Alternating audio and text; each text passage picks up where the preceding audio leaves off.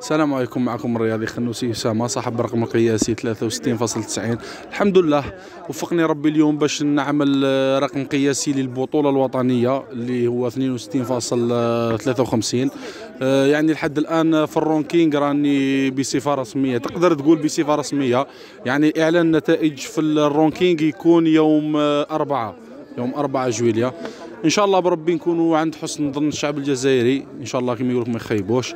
والهدف تاعنا الهدف الأول والأخير هو التأهل للنهائي للألعاب الأولمبية. التأهل الأول والأخير إن شاء الله. ورقم قياسي جديد بإذن الله. زير تيوب أول قناة إلكترونية في الجزائر.